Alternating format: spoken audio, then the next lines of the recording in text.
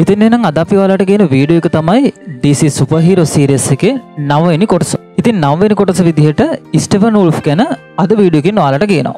Stephen wolf කිව්වහම ඔයාලට හිතෙන්නේ නැති ස්ටෙෆන් වුල්ෆ් කියන්නේ හීරෝ කෙනෙක් නෙමෙයි විලන් කෙනෙක් කියලා. ඔව් ස්ටෙෆන් වුල්ෆ් කියන්නේ විලන් කෙනෙක් තමයි. ජස්ටික් ලීග් එක වගේම DC කොමික් වල ප්‍රධානම සුපර්හීරෝස්ලාගේ ප්‍රධානම විලන් කෙනෙක් තමයි ස්ටෙෆන් වුල්ෆ්. ඉතින් මේ නිසාම තමයි DC සුපර්හීරෝස්ලා ගැන කියන අපේ මේ සීරීස් එකට ස්ටෙෆන් වුල්ෆ් ගැන වීඩියෝ එක ගේන්නේ. ඉතින් වෙනද වගේම කතා පැත්තට යන කලින් ඔයාලට මතක් කරන්න ඕනේ චිත්‍රපටි ගැන දැනගන්න අපේ YouTube channel එක subscribe කරලා නැත්නම් අපේ YouTube channel එක subscribe කරලා අපිත් එක්ක එකතු වෙන්න. ඒ වගේම අපේ වීඩියෝ යාළුවන්ටත් බලන්න share කරන්නත් අමතක කරන්න එපා. ඉතින් එහෙනම් අද කතා පැත්තට යමු. ස්ටෙෆන් වුල්ෆ් කියන්නේ DC කොමික් විසින් ප්‍රකාශයට පත් කරන ලද කොමික් පොත්වල දකින ලැබෙන දුෂ්ටයෙක්. එහෙම නැත්නම් DC එක තුර දකින ලැබෙන ප්‍රධාන සුපර් විලන් කෙනෙක්.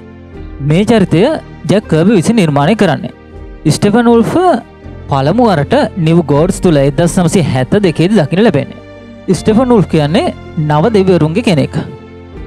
ඔහු හෙක්ටරාගේ බාල සහෝදරය ඩාක්සයිඩ්ගේ මාම වගේම කාලිබාක් සහ ඔරියන්ගේ ලොකු මාම වෙනවා. ඒවගේම ඩාක්සයිඩ්ගේ ලයිට් එකේ සාමාජිකේ. ඔහු ඇපකොලිස් මිලිටරි හමුදාවට නායකත්වය දෙන ජෙනරාල් වරෙක්ද වෙනවා. ස්ටෆන් උල්ස් චරිතය ප්‍රථම සජීවී රංගනය Justice League of DC extended universe චිත්‍රපටියේ දකින ලැබෙන්නේ. DC කොමික් තුළ ඩාක් සයිඩ් නැතම් ස්ටෆන් උල්ෆ් ගැන කතා කරනකොට මද බොක්ස් ගැන කතා නොකරම බැරි දෙයක්. ඒවගේම ස්ටපන් උල්ෆ්ට මද බොක්ස එක කෙලිම සම්බන්ධ වෙනවා. මද බොක්ස් නිර්මාණය කරන්නේ අපකොලිස්ටන් විද්‍යාඥවරයෙක් වන හිමෝන් විසින්. ඒ තමයි එලිමෙන්ට්ස් එක් කියන අත්භූත මූලද්‍රව්‍ය භාවිතා කරමේ.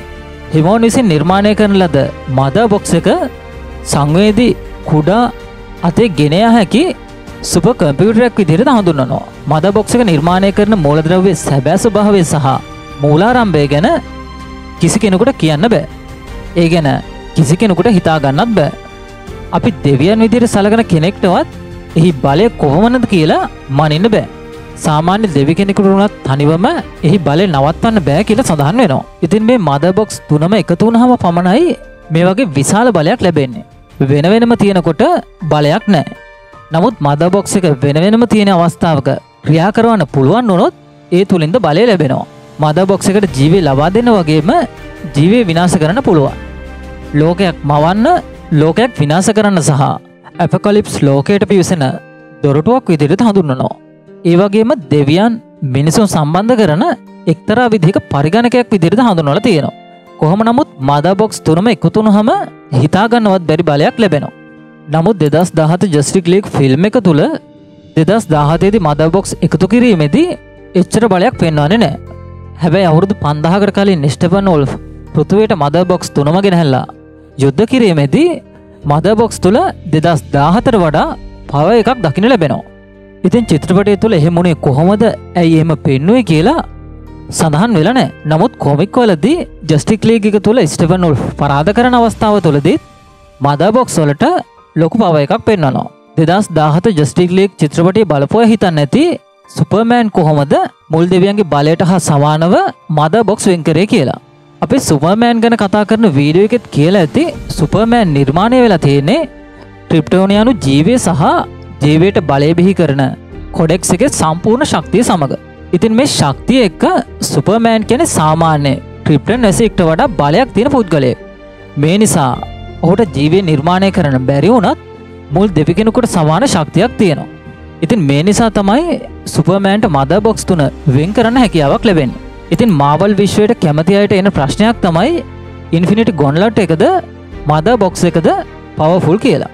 මේකට කෙටියෙන් උත්තරයක් දුන්නොත් ගොන්ලට් එක තමයි පවෆෝල් හේතුව තමයි මද බොක්ස් තුනම එකතු කළ යුනිටේ නිර්මාණය කිරීමෙන් පව එක වැඩි වුණත් බොක්ස් තුනම එකතු කරන්නාගෙන් පිට කෙනෙක්ට වෙන් කිරීමට හැකියාවක් තියෙනවා සහ එකතු කරන්නාට බලය ලැබෙන්නේ අවසානයේදී. නමුත් ගොන්ලට් එක පැළදි පුද්ගලයාට ස්ටෝන්වල බලය ලැබෙන වගේම සියල්ල පාලනය කරන හැකියාවක් ගොන්ලට් එකට තියෙනවා. ඉතින් මද බොක්ස් ගැන දැනගත්ත නිසා ස්ටෙෆන් උල්ෆ්ගේ පැත්තට හැරෙනකොට ස්ටෙෆන් උල්ෆ් අවුරුදු පන්දාහකට පසුව පෘතුවෙන් මද බොක්ස් අරගන්න උත්සාහ කරන හේතුවක් තමයි සුපර්මෑන් මේයාම වගේම ක්‍රිප්ටෝනියානුවන් අවසන් වීම. මීට වසර ගානකට කලින් ඩෝන්ස්ඩේකින් බේරුණ පළවෙනිය වෙන්නේ ස්ටෙෆන් උල්ෆ්. ඉතින් ඩෝම්ස්ඩේ සමඟ සිදුවන සටනේ සුපර්මෑන් මේයාම නිසා සහ ක්‍රිප්ටන් අවසන්වීමෙන් මිනිසුන් තුළ පය ඇත්වීම නිසා ස්ටපන් ඔල්ෆ් පෘතුවයට එන්නේ. ඉතින් ස්ටපන් ඔල්ෆ් මුල් කාලයේදී නිව් ගෝඩ්ස් කොමික් එක තුළදී ඩාක්සයිඩ්ගේ ප්‍රතිවාදය වන හයිෆාදගේ බිරිඳව ඩාක්සයිඩ් විසින් ඝාතනය කරනවා. මේ නිසා හයිෆාද පසුව පලිගැනීමක් ලෙස ස්ටෆන් උල්ෆ හොයාගෙන ඝාතනය කරනවා. කෙසේ වෙතත් ඔහුගේ ඊළඟ ප්‍රවේශය මගින් ඔහු නැවත අපකොලිප්ස්ටියන් තාක්ෂණය නැවත නැගිටිනවා. ඉතින් ස්ටපන් උල්ෆ් කේබන් එකක් වගේම ප්‍රධාන ආයුදය වන ඉලෙක්ට්‍රෝ ඇක්ස එක භාවිතා කරනවා. ඒවගේම ඝාතකයෙක් විදිහට හොඳින් පුහුණු වන ඇපකොලිප්සල ජෙනරාල් වරයෙක් සහ මිලියන ගානක් මරපු කෙනෙක් ඔහු මේ විදිර මරණය පැරඩිමිස්ල වෙලා ඉපදෙන්නේ. පැරඩිමිස්ල තමයි ස්ටපන් ලොල්ගේ ආමික වෙන්න. ඩක්සයිඩ්ගේ නියෝගයට අනුව ස්ටපන් නොල් මෙට්‍රවොලිස් සටනට වසර පන්දාහකට පමණ කලින් ඔහුගේ විශාල පැරඩිමස් හමුදාව සමඟ පෘතිවි ආක්‍රමණය කර පෘතිවය යටත් කර ගැනීමට උත්සාහ කරනවා. නමුත් මිනිසුන් ඇමසන්වරුන් ඇටලාන්ඩියස්ලා පිටස්තර ලෝක වීරයන් ඒවගේම දෙවරුන් ඒකාබද්ධ හමුදාවක් විසින් ස්ටෆන් උල්ෆ් සහ ඔහුගේ ආමික පරාද කරනවා. ඒවගේම ස්ටෆන් උල්ෆ් සහ පැරඩිමෙන් සහුගේ හමුදාව මදබොක්ස් තුනම පෘතුවේ දාලා ඇප කොලිප්සලට නැවතත් යනවා. මේ දාලයන මදබොක්ස් තුනෙන් එකක් ඇමසන්වරුන් ළඟත් තවත් එකක් ඇටලාන්ඩියස්ලා ළඟත් සුරක්ෂිතව තියෙනවා. තුන්ගෙන එක මනුෂ්‍යයන් විසින් රහසිගතව වලදානවා. නමුත් මනුෂ්‍යයන් සඟවන එක පලවන ලෝක යුද්ධ කාලයේදී බ්‍රතාානය හමුදාව හොයාගන්නවා. ඊට පස්ස තමයි ස්ටාලැබ් එකට මද බොක්සක ලැබෙන්නේ. ඩාක්සයිට් පෘතිවී අවශ්‍ය වනත් ස්ටපන් නොල්ගේ පරාජය හේතුවෙන් ඔහු තමන්ගේ ජනතාවන නව දෙවරුන් ඔහුව පිටුහල් කරනවා. ඉන් පසු අවුරුදු පන්දාහක් පෘතිවි අල්ලගන්න බලන්න ඉන්නවා. ස්ටපන් නොල් පෘතිවි ආක්‍රමණය කරන්න කිසිදු අවධානමක් ගණනෑ. ඔහු අවසන් ඔලිම්පස් දෙවිය වන ඒරිස් මේයාමෙන් පසුව සහ ඩෝම්ස්ඩේ අතින් සුපර්මෑන් මේයාමෙන් පසු නැති වූ මද බොක්ස් සෙවීම සඳහා ස්ටෙෆන් උල්ෆ් අවුරුදු පන්දහකට පසුව නැවත පෘතිවයට එනවා. පෘතිවයට එන ස්ටෙෆන් උල් මුලින්ම තෙමිෂ්කීරාවලින් ඇමසන් වරුන් ළඟ තියෙන මද බොක්ස එක ගන්නවා.